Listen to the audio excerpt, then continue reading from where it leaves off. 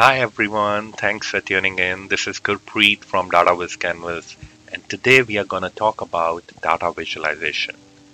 What is it and how is it used and why is it so important in our day-to-day life? Before I jump into that topic, I would like to set a foundation in terms of the world we currently live in. So the time period in which we are currently living is known as the fourth industrial revolution which means the digital world, where we are surrounded by data and information. From the time we get up in the morning to the time we get go to the bed in the night, data is everywhere and is part of our lives. Every one of us can relate as most of us carry a mini computer in our pockets in the form of smartphones. Use of data has been increased further with the recent pandemic with the global spread of coronavirus forcing people to stay indoor across the world most of the time, and internet has become a substitute of all the activities which were not accessible before. Did you guys know that during this pandemic, there has been increase by 70% of phone usage, which was a lot less before that time period people are spending more time in the digital world watching news or on social media or buying and selling the products and services, which is kind of new normal in this digital world. So how can we make use of raw data and information around us as an individual or as a business? There is terabyte of data sitting around us or in the data centers, which is unused and is sitting as a burden. If it is correctly processed, this data can be a digital gold. That is where data visualization comes into play. In order to do that, we need to make sure that we have to process the data and make sure that the data is clean and accurate. Once it is done, we can use the data visualization technique to discover trends and patterns to make an informed decision. So what is visualization? First of all, visualization is an extraordinary and powerful skill. And talking about visualization, it's about using our eyes to visualize things around us. It can be when we are walking on the road or driving on the road and we look at the road signs and visualize the information from those signs that are providing us so that we can make an informed decision. So if we talk in terms of data, it's about using our eyes more to visualize the information so we can see the trends and patterns in the data and connect with it. So according to Google definition of data visualization, it's a representation of data in the form of chart, diagram, picture, or videos to see trends and patterns to gain the insights from it. So how we can do that? So designing that information so that it makes more sense and tells a story which allows us to focus on information is the most important part of data visualization. You can say visual storytelling, it's really critical as it connects with connects us with the information differently, which is not just possible by hearing or by reading a text. Research shows that we tend to forget around 60% of the information right after hearing it, which is quite a big number. So let's have a look at this picture. What do we see in this picture? So if we look at it, some of us might say it's a leopard sitting on a tree.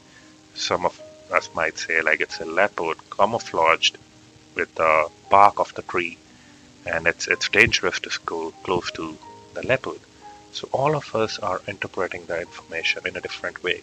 But one thing in common is that there are more than million pixels on the screen with various shades of black, green and brown and yet in a moment our brain can put together the picture with an information in a quick, reliable and efficient way. Our brain can take these millions of pieces of information, analyze the pattern and put them together to come up with an informed decision that it's a leopard sitting on a tree. Or it can be dangerous if we go close to him. So just think how our brain processes that information just by looking at it and then making an informed decision. Do you know that our brain can process any visual, any visual in less than 100 milliseconds, which is quite powerful, isn't it? And there is no such technology in this world which can do that in such an efficient and quick and reliable way. So our brain is the most powerful, you can say visualization thing which our brain can interpret and come with a conclusion and help us to make an informed decision.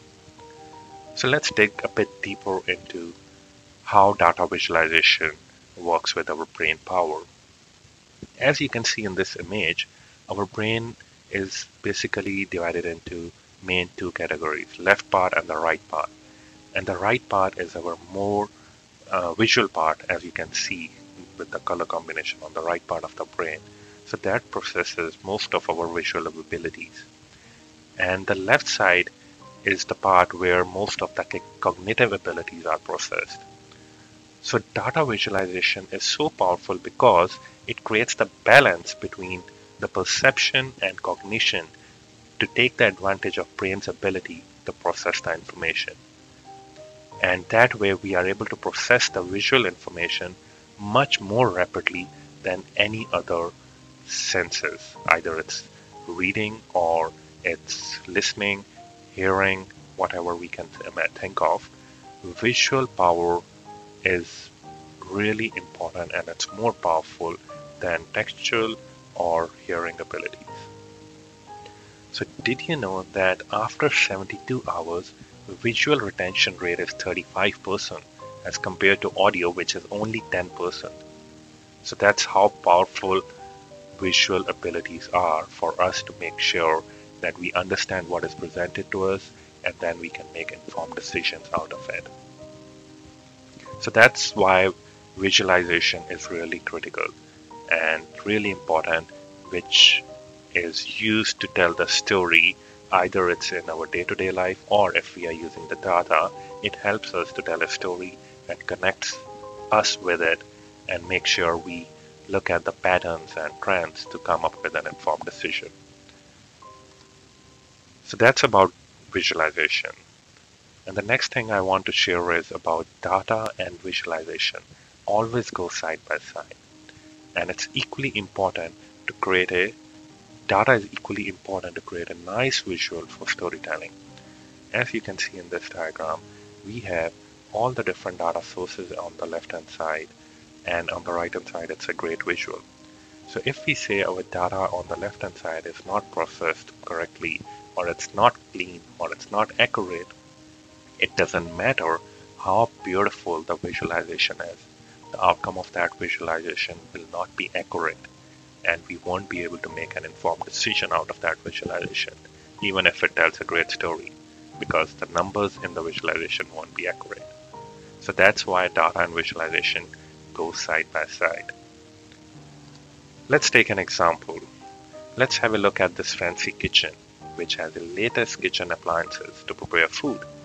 That's the key, key purpose of the kitchen, right? To prepare food. And the quality of the food is based on the ingredients and the way we prepare the dish.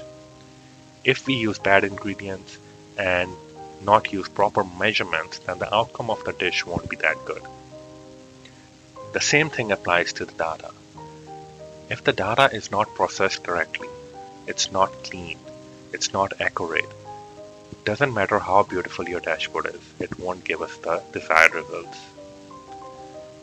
So if we look at these examples, on the left hand side we are showing all the kitchen appliances and these are used to prepare the food.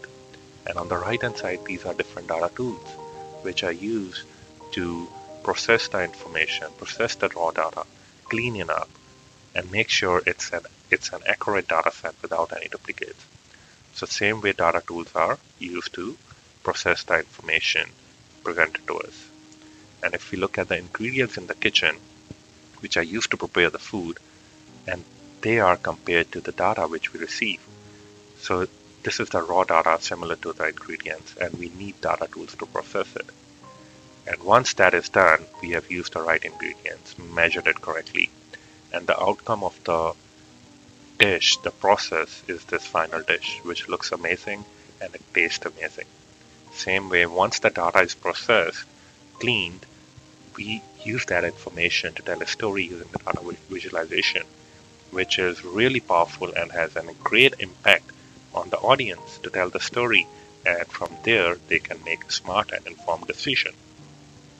So that's that's how we can relate that data processing, data tools, and the dashboard with our with a simple example when we prepare food. So now moving on to next part where I've shared one of the examples of a great storytelling dashboard. So this dashboard talks to us about the churn reduction rate, which is the iteration rate, how we can reduce the iteration rate. And if you see, it tells a story from top to bottom. And let's start from the top left corner. It tells us how we are doing on retention. And this chart tells us about the retention rate. And it highlights that retention is really bad as 96% of the clients are leaving us in less than a year, which is actually bad. And then we are talking about why are the clients leaving the company? And here you can see there is a 53% churn rate and it says that more than 50% is related to the customer experience. So that's basically the reason. And if you can see here, it says 23% is because of poor onboarding and 16% is because of the weak relationship building and 14% poor customer service, which adds up to 53% because of the customer experience, clients are leaving the company. And then next, what is the cause of this problem? That's really important to know, right? So in this case, it says that the process was not clear and most of the client never had feedback on their performance. So there is something need to be looked into to redesign the process and work on the team training and redo on the KPIs of our team. And then telling the story further, we are asking the question and comes to a action like do we really need to invest in retention or we can look for the new clients. And this diagram actually shows us that if we go with the new clients, it will cost us 2.9 times more than retaining our current ones. So it tells you the action, like it's, it's really worth it retaining the clients rather than going to invest in the new clients. And also it tells us that if you invest in the new clients or new shoppers, they will spend around 20%, whereas your existing clients or existing shoppers will spend more, which is 80%. So it's a win-win in that situation. So if you look at this entire dashboard, it's visually appealing, it's clear, and it has a focus on the story, and it's well structured. And the color scheme is bright and clear, and it's easy to interpret. And dashboard has a flow structure that tells a story and answer the questions that helps us to make a decision. So that was a really good example of a good visualization which tells a story. Now let's look at an example of a poor dashboard design. And as you can see in this dashboard, there are so many colors used and the data is cluttered everywhere. It's hard to read and there is no proper structure, no proper flow, and all the information is just dumped into this dashboard. And it's really hard to read. So we there is no white spaces, there is no proper banners which highlights the number which we are looking for no proper font selection. So it's it's really messy and short. So that's why like it's really important to work on the visualization so that it can tell the story and make sure the audience you are presenting that story to. Because each dashboard will vary in the dashboard design based on the audience you are targeting. If you are targeting a senior management, they are looking at the high level numbers and telling the story based on their overall portfolio, how they are doing. But if we are talking to a operations operations guy, they want to know about the details of their day-to-day transactions or day-to-day operations. So the design will be different.